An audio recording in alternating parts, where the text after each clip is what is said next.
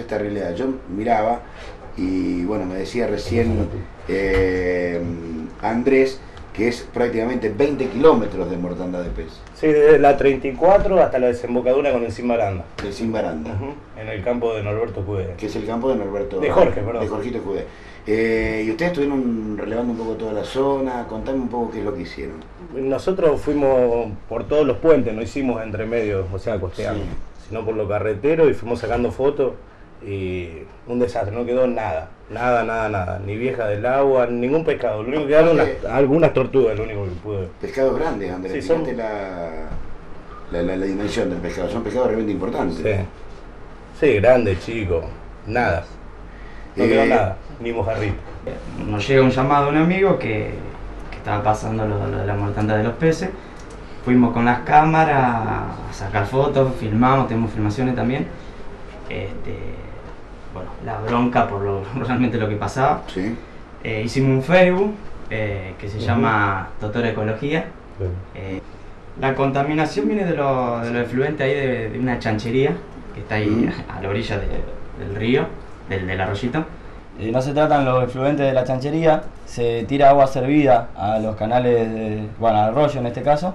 Y bueno, esto está compuesto por materia orgánica, ¿no? La materia orgánica se oxida y le saca el oxígeno a los peces. Principalmente estos peces se han muerto por asfixia. Mueren eh, asfixiados. Mueren asfixiados porque la materia orgánica se oxida para descomponerse y le saca el oxígeno a los peces. ¿Esto dónde es, eh, Andrés? Esos son 20 kilómetros así. Esos son los puentes.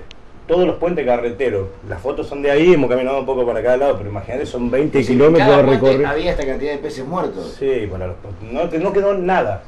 Le bastó todo. Ni nada. Ni un pescado no se sabe. O sea, eh, está todo en manos de un juez. Claro. ¿Entendés? no es la primera vez claro, es la tercera vez que sucede en el mismo lugar. Lo que no comprendo yo es por qué pasó esto.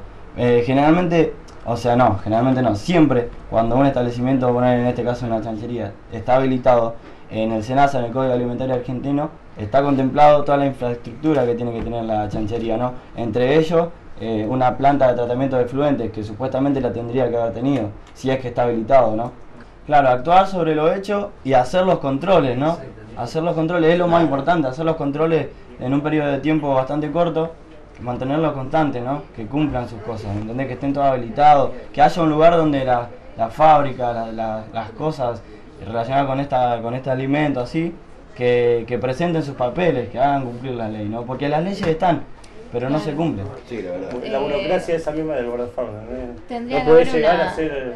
Una Secretaría de Medio Ambiente que se encargue de que la ley y la ordenanza se ejecute.